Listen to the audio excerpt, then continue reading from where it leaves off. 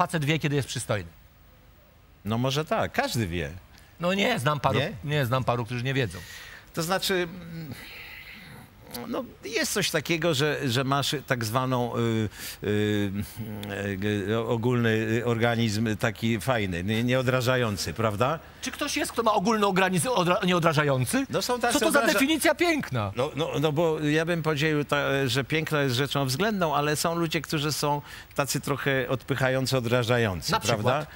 Y, Nazwiska? Tak. No nie, no, no, no, No co za problem? no nie, no tak nie można po- po nazwiskach, no. Ale, ma, ale są tacy, ale bardziej politycy czy aktorzy? Też, Okej. też.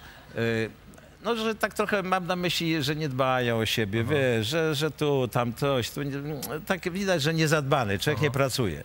Y, Ja uważam, że trzeba w swój wygląd i przecież ty też jesteś chłopak na medal, nie? Ale brązowy. No. Naprawdę nie, ale ja nie, bo ja dużo Nie, ćwiczę. no ale no, ja ćwiczę. No, no, no trzeba, no. Ja chodzę na siłownię. No a jak? No to mam na myśli. Więc jeżeli ktoś nic nie robi całe życie, tylko gorzałka, tamto, te kosie, i tak ty mówiłeś, kosiarz tego i je, y, nic nie robi, nie rusza się, no to potem jest taki trochę, jeszcze papierosy, cały taki odorek. A ty nic nie- nie tego. ten, używek nie, nie, nie, nie, nie, nie, Nic. nie, nie.